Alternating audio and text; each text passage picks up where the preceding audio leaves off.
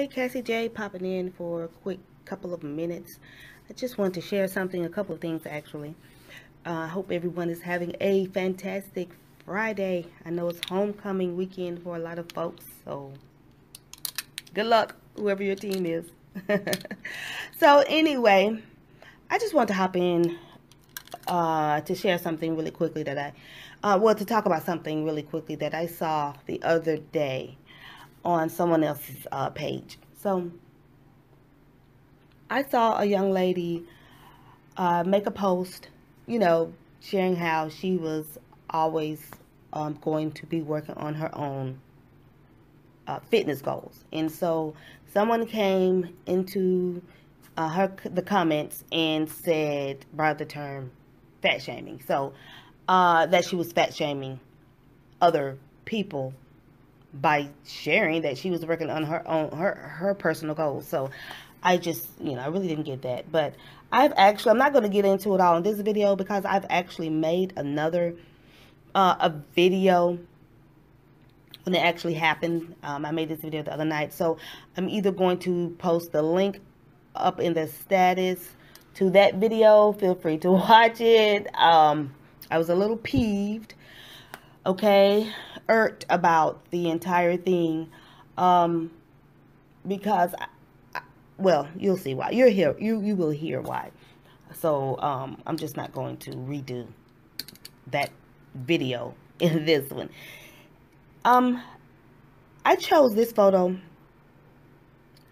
because I will say this much about fat shaming, which is something that I'm absolutely against. I do not even I, I am I don't even like using the word fat. Okay, but more of that in in the other video. But my before photos, these are, are, are the same before photos. I use these same ones over and over again because I'm determined that there not be, you know, several before photos, you know, three months later, four months later, five months later, if you get what I mean, um, where I'm coming from. I am determined to keep the results that I have gained, as you see in the middle photo, and and to also keep improving. So I'm not like you know this is this was a photo the before photos you see was from two years ago, and so my goal is not to um, by next year have reverted back to these before photos to be showing you that I'm trying you know I'm starting over again there's nothing wrong with starting over again. I'm totally for starting over again if you fall off track. I'm just sharing that falling off track is something that I strive every day not to do. I should say stay. I strive. I well sometimes I don't strive as hard as I I should uh, to not fall off track. You know, I still enjoy some of my favorites. Okay, but um, staying off track is what I should say. That's a daily thing. That's the thing that I'm committed to um, doing is staying on track. Okay. But I don't want to get all off track of this conversation. In the first before photos, you can see the rolls on my back. Um, you know, you can see my uh, stomach and abdomen really protruding and all of that, right? This is a lot of excess fatty tissue, y'all. A lot. It's, you know, for for my body frame. It was like, but this that having that excess fatty tissue, wanting to get rid of the excess fatty tissue, does not mean I didn't love me. People are out here, you know, saying, I love my rolls, I love my cushion, I love my whatever. That's great. We can love ourselves and not love the excess. Okay, we can love ourselves and not love the rolls. It's just, there's just so much. I'm getting all off track because I should have. this was not a scripted video, but I, I went more into that in the other video. Okay, where I was a little bit more probably come across as a little bit uh, clearer with this.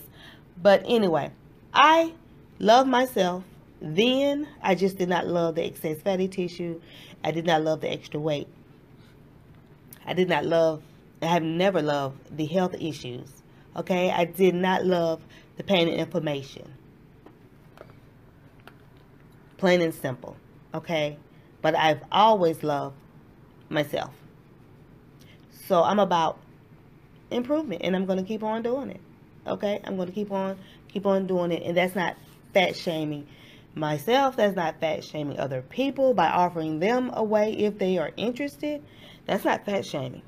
These are those are just offers because there are people who are actually struggling to do some things that they um, with their bodies and that they have not been able to do.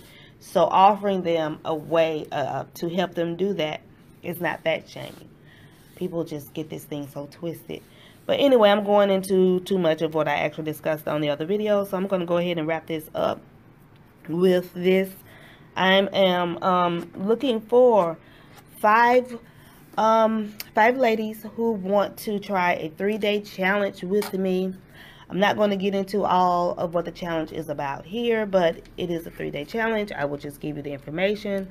Um, if you're interested and you reach out to me, um, then. But it is a three-day challenge. Just, just kind of get you in the groove, get you in the mood to working on achieving your long-term goals. I just put leave it at that.